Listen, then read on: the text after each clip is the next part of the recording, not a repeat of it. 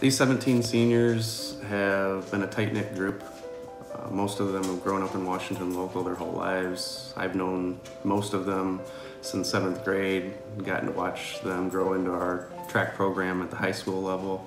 For the last three years, they've been league champs, they've been district champions, they've uh, finished sixth at the state meet two years ago, and they were state runner up last season.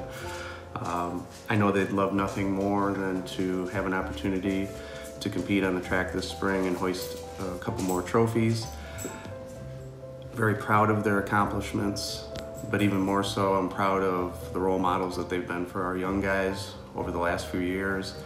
Uh, they've taught them what hard work and commitment uh, it takes to be a champion. Some of them will go on to compete at the next level in college athletics, and those that won't uh, will make their mark somewhere else. That's a special group of guys, and I'll miss them.